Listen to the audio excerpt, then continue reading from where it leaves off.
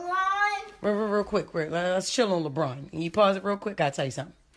All right, look, I ain't want to be the one to tell you, but this chick was coming at you real crazy. On Who coming at me? no, no, no, just just calm down. I know how you get.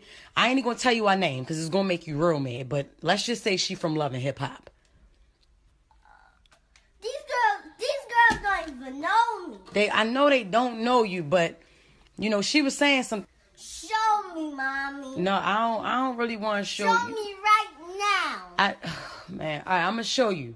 I'm gonna show you, but you can't laugh when you see her, okay? Because I, I know you're gonna get all cracked up inside because of how she look. But I, I don't really want you to, to take it there, okay? Because I don't want you to become no baby bully. You got me? All right, I'm gonna show you. Hey, yo. What? What you think?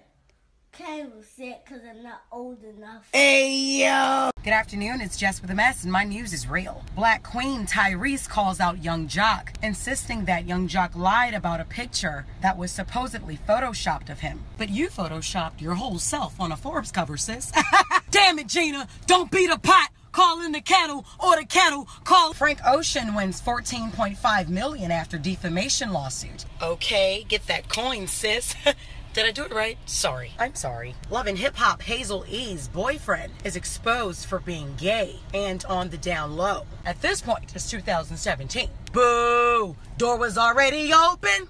Just come out of the closet. Congratulations to the Davises. Or is it David's son? Because last night I could have sworn they said David's son, but his last name is Davis. Either way, Keyshia Ka'oir and Gucci Mane finally tied the knot. Gucci's vows were so sweet. Put that ring up on your finger, cause that my baby Keisha. Got off at reception, cause we got wings and pieces. Walking down the aisle, I'm like, oh my goodness gracious, that's Mrs. Davis.